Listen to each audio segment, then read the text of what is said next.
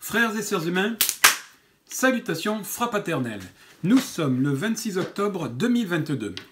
Aujourd'hui, dans cette vidéo, je vais répondre à mon ami euh, Code Juge qui m'a posé une question, ou en tout cas qui m'a partagé un questionnement qu'il se fait sous ma vidéo intitulée Le libre, le libre arbitre ou l'esprit critique.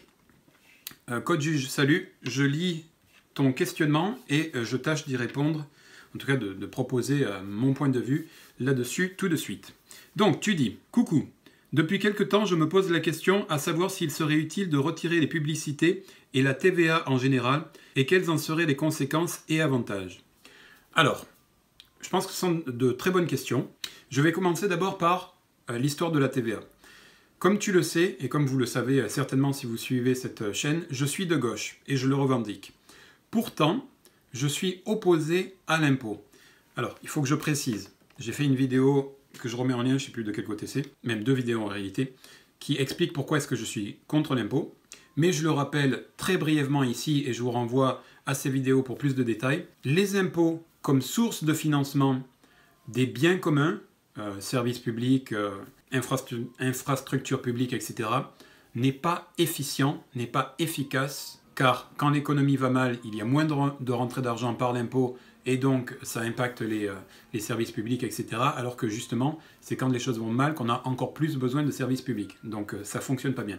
Surtout aussi que ça permet aux égoïstes, les gens de droite en général, si je, si je me permets un peu cette caricature si on veut, de se plaindre euh, en disant qu'on leur vole, que l'État leur vole une partie de leurs biens. Donc à la fois pour essayer de contrecarrer un temps soit peu euh, cette problématique, mais aussi et surtout pour rendre plus efficace, plus stable dans le temps, d'accord, le financement des, biens et des services publics, je suis opposé à l'impôt. L'impôt, c'est pas la meilleure façon, c'est une façon aléatoire et donc peu sécurisée de financer les biens et les services publics. Une façon bien plus pérenne et euh, bien plus maîtrisée, c'est de financer les biens et les services publics tout ce dont on a besoin, ce que j'ai envie d'appeler les communs, par la création monétaire ex nihilo. Je ne vais pas vous refaire tout le schéma parce que je vous renvoie à ces vidéos, mais la création euh, monétaire ex nihilo, c'est-à-dire créer de l'argent à partir de rien, entre guillemets, à partir d'une décision, une décision politique, parce qu'il s'agit d'organisation de la société. Et ça, on pourrait dire, mais attends, c'est complètement fou. Mais non, c'est comme ça que l'argent est créé. Les banques privées, c'est comme ça qu'ils créent l'argent.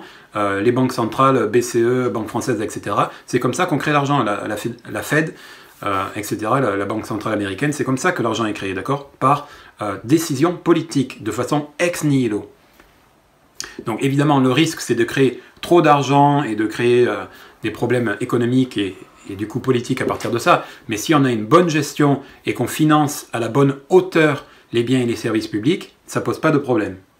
Donc, raison pour laquelle je suis opposé à l'impôt quand il s'agit de financer les communs, les biens et les services publics. Si l'impôt doit demeurer et doit avoir une, utilité, c'est pour plafonner l'enrichissement personnel. Je laisse de côté ici les entreprises parce que je ne suis pas certain qu'il faille euh, limiter le financement, l'engrangement financier des entreprises. Peut-être que c'est le cas. Pour l'instant, je n'ai pas de, réflexion suffisamment poussée euh, là-dessus. Mais en tout cas, au niveau personnel, il me semble nécessaire, c'est pas seulement une question éthique, mais c'est une question d'utilité euh, publique, d'utilité d'utilité quoi, de plafonner la richesse personnelle d'un individu. Et la richesse, elle n'est pas simplement monétaire, elle est immobilière, elle est euh, dans les actions, éventuellement euh, dans les entreprises, etc. etc. la possession d'une entreprise, etc. Donc au niveau global, ok? Quel plafond faut-il mettre? Ça, c'est pas à moi de le dire, c'est à nous tous, euh, dans le cadre démocratique que nous ne sommes pas, de décider quel est le plafond maximal pour l'enrichissement d'un individu. Mais pourquoi est-ce que ça me semble important? Je l'ai déjà dit, je le redis, parce qu'une trop grande richesse individuelle vient créer ce que j'appelle des déséquilibres dans la société. Je le répète encore une fois, mais on est euh, plus capable de soudoyer, de corrompre la société, euh, à la fois de corrompre dans le sens commun, c'est-à-dire de, donner des pots, de vin, mais aussi parce que on représente une richesse et un, un pôle de puissance financière tel qu'on va amener à soi des gens qui sont euh, intéressés et qui vont vouloir agir euh, dans notre intérêt et du coup dans leur intérêt aussi, et donc créer des déséquilibres dans la, société. Par exemple, Emmanuel Macron, c'est un, une belle illustration de, cette chose-là. Emmanuel Macron, ses amis, ce sont des riches, euh, je sais pas, voilà, comment il s'appelle celui-là, le mec de Free, etc., etc. Et donc, il est euh, au poste de président, il a réussi à accéder à ce poste parce qu'il a été aidé par ses riches, par ses amis riches qui ont fait des couvertures, euh, qui l'ont mis en avant, et malheureusement parce que la population, euh, on n'est pas suffisamment intéressé à la politique et on se laisse trop facilement, comme j'en parlais notamment dans la vidéo sur le libre arbitre, on se laisse trop facilement influencer, en particulier par les médias, en particulier par la télévision. Mais il y a d'autres raisons aussi un peu plus complexes, mais bon, Basiquement, c'est ça. Ok? Donc lui, maintenant qu'il est au pouvoir, il fait une politique pour les riches. On voit bien que les inégalités dans son précédent mandat, et ça continue aujourd'hui, ont grandi entre ceux qui accumulent toujours plus et ceux qui sont de plus en plus déclassés. Ok? Évidemment, il y a eu la pandémie, mais il y a aussi une gestion de la pandémie hein, qui est différente d'un pays à un autre et, donc qui donne euh, des résultats différents en termes de, de pauvreté, d'appauvrissement de la population. Voilà, donc ça c'est un exemple qui montre que quand il y a des riches trop riches, ça crée des déséquilibres dans la société qui impactent toute la société. Donc, raison pour laquelle, et même d'un point de vue moral, même si je sais qu'aujourd'hui euh, tout ce qui est moral, éthique euh, est laissé de côté, mais même d'un point de vue moral, pas simplement d'un point de vue euh, efficience d'organisation de, la société, optimum, mais aussi d'un point de vue moral, accumuler trop de richesses n'a pas de sens. Donc si impôt il devait y avoir, c'est simplement pour, à partir d'un certain plafond, eh bien, tout ce qui est au-dessus, la collectivité, nous tous, nous mutualisons ce surplus de richesse. Et donc, soit nous le détruisons, parce que de toute façon, nous créons la, monnaie, donc on n'a pas besoin d'argent. Quand on en a besoin, on le, crée soi-même. Soit, on peut laisser le choix à ces personnes, je l'ai déjà dit dans d'autres vidéos, mais je me répète, on peut laisser le choix à, ces personnes d'utiliser ce surplus pour financer, je ne sais pas moi, la recherche, l'éducation, euh, l'exploration spatiale, etc., etc. On peut proposer une liste d'investissements possibles, et donc la personne à qui on va dire ben, tout ce qui est au-dessus, tu peux pas le garder, eh il va dire bon ben alors dans ce cas-là, je veux qu'on le mette euh, ici et là. Donc si on supprimait la TVA, on redonnerait ce qu'il est convenu d'appeler aujourd'hui du pouvoir d'achat. On voit bien que cette question du pouvoir d'achat est mise en avant, notamment par les Français eux-mêmes dans les sondages, etc et est reprise par les politiques qui ont de cesse de nous dire on va, on va vous redonner du pouvoir d'achat, le pouvoir d'achat, le pouvoir d'achat, etc. Donc si on supprime la TVA, eh bien ça redonne un certain pouvoir d'achat. Mais en contrepartie, évidemment, comme la TVA représente une grande rentrée d'argent euh, pour l'État et pour le financement des services et des biens publics, alors il faut compenser cette perte. Donc je suis pour la suppression de la TVA parce que ça redonne du pouvoir d'achat, même si je pense que la consommation peut être problématique, c'est un autre sujet mais je suis aussi pour la suppression de tous les autres impôts, à l'exception d'un impôt qui, serait comme ça pour euh, plafonner les richesses personnelles. Ça, voilà, c'est pour te répondre sur la TVA. Je pense que supprimer la TVA redonne du pouvoir d'achat, mais qu'il faut se poser la question du financement des biens et des services publics que je règle par ce qui me semble la, méthode la plus efficiente, la plus optimum, celle qui marche le mieux et qui, et qui garantit le fonctionnement et la pérennité des biens et des services publics dans le temps, c'est la création monétaire ex nihilo, sans faire n'importe quoi, évidemment. Mais euh, on n'est pas obligé de tomber dans la caricature non plus. Ensuite, sur la suppression de la publicité, alors, le terme de publicité a été perverti par le capitalisme. Faire la publicité de quelque chose, c'est rendre public, transmettre une information, apporter à la connaissance du euh, plus grand nombre quelque chose, ok? Pas nécessairement un produit ou un service comme dans le capitalisme qui cherche à vendre, à vendre etc. Ça peut être euh, tout simplement donner à connaître une, nouvelle loi qui a, été euh, promue, ou alors une nouvelle connaissance qui a été acquise. Tout ça, c'est faire la publicité de quelque chose. la publicité n'est pas nécessairement, n'est pas par nature marchande. C'est le capitalisme et notre société capitaliste qui a, dans nos esprits, transformé ce mot et l'a réduit à la simple publicité euh, marchande commerçante qui a pour euh, destinée de vendre et de faire consommer. Alors que le terme de publicité, c'est simplement d'apporter à la connaissance du plus grand nombre.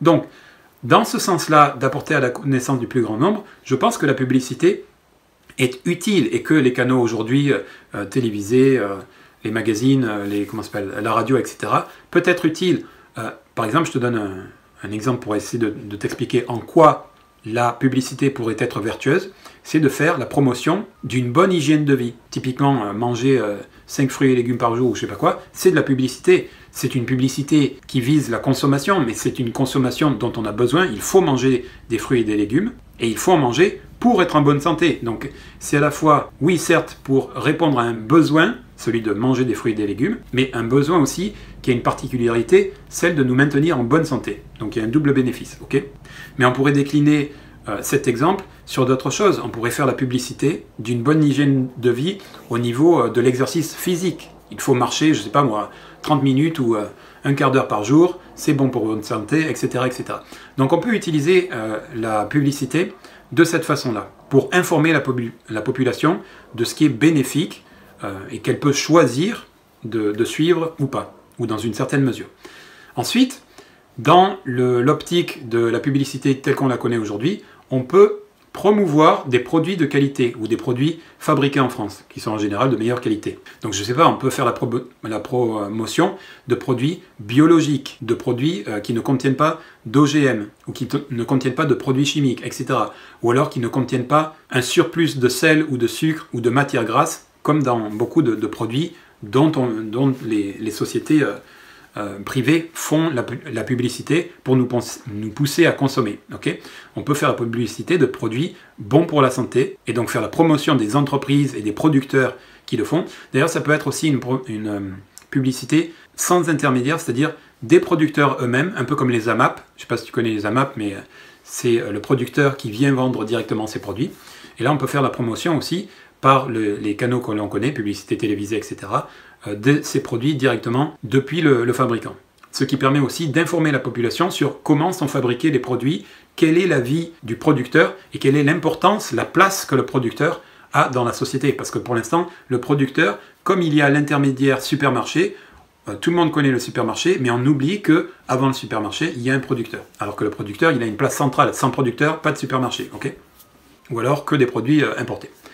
Donc je pense qu'il n'y a pas que c'est pas forcément une bonne idée de supprimer la publicité, parce que la publicité c'est quelque chose de beaucoup plus large que la, simple publicité qui vise à, faire consommer, mais je pense qu'il peut y avoir une régulation de la publicité.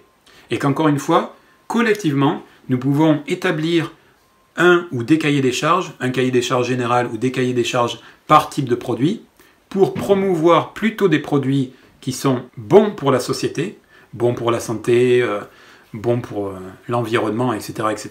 Et au contraire, réduire la présence et l'impact des produits qui sont néfastes pour la société. Et on peut aussi imaginer une institution publique dédiée au financement ou à la promotion des produits fabriqués en France, des produits biologiques, enfin des produits qui sont bons pour la société de façon générale. Et donc ça serait un service public euh, de la publicité. Voilà. Ensuite, il y a quand même la question de la présence, de la trop grande présence de la publicité. Parce que la publicité, elle est à la télévision, elle est à la radio, elle est dans les magazines, mais elle est aussi dans la rue.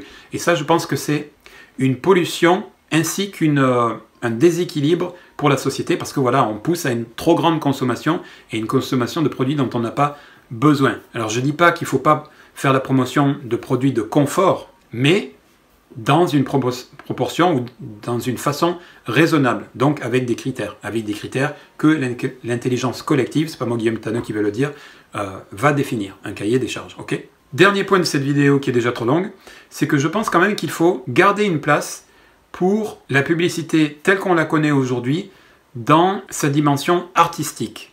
Parce que euh, si tu fais bien attention, si vous faites bien attention, des fois euh, les publicités, on voit pas très bien quel est le produit qui est mis en avant, mais la publicité est cool. Et donc ça donne une image à la marque, et, donc ça donne, et donc ça donne envie de, consommer cette marque, parce qu'on on a l'impression de s'approprier cette image cool, etc. Ok? Euh, je me souviens quand j'étais plus jeune, il y avait la nuit des publivores, je pense que ça existe encore. Et là, je pense que c'est un cadre sympa, à la fois pour euh, y euh, introduire ou y laisser les publicités qui ont un aspect artistique et aussi pour voir les publicités des, autres pays. C'est une façon de, s'ouvrir à la culture capitaliste, si on veut, du reste du monde, mais quand même, c'est divertissant et c'est intéressant et c'est stimulant pour l'imaginaire, euh, etc. Ok, donc ça, euh, d'un point de vue artistique, c'est quand même intéressant et je pense que c'est pas une bonne idée de entièrement la supprimer. Je pense qu'il faut la réguler dans les canaux euh, qui impactent le plus gros de la population, télévision, euh, journaux, radio, etc. Mais je pense qu'il faut lui réserver un espace dédié qui est dans un cadre artistique. La nuit des publivores, c'est quelque chose qui promeut le côté artistique de la publicité, le côté amusant, le côté original, innovant, etc. Et donc là, je pense que on peut y rediriger les publicités qui n'ont rien à faire, enfin qui ont un impact de, surconsommation dans les canaux euh, principaux et plutôt la rediriger vers quelque chose de plus artistique. Voilà, j'espère que j'ai été clair, j'en suis pas certain. Si toi, code juge, ou vous en général, vous avez des questions, des suggestions, ou si vous n'êtes pas d'accord, comme d'habitude, exprimez-vous dans le respect. Cette question euh, de l'impôt, que ce soit de la TVA ou des autres impôts, est une question très importante dans l'organisation sociale, me semble-t-il. Donc je suis curieux de connaître votre avis, vos avis. Et évidemment, dans la société capitaliste qui surconsomme, etc., la publicité est un fort vecteur de euh, cette problématique capitaliste et de destruction de l'environnement, ainsi que des populations, parce que obésité, euh, etc., envie de produits dont on peut pas, euh, dont on n'a pas les moyens, etc., et donc peut-être un des facteurs qui mène aussi à la délinquance, enfin peut-être dans une moindre mesure, mais voilà. Donc évidemment, euh, l'impact de, la publicité et la, présence de la publicité et le type de publicité est à interroger. Voilà pourquoi je partageais aussi mon avis. Voilà, allez, comme toujours, je termine par le triptyque de notre beau pays. Liberté, égalité, fraternité, vive la France.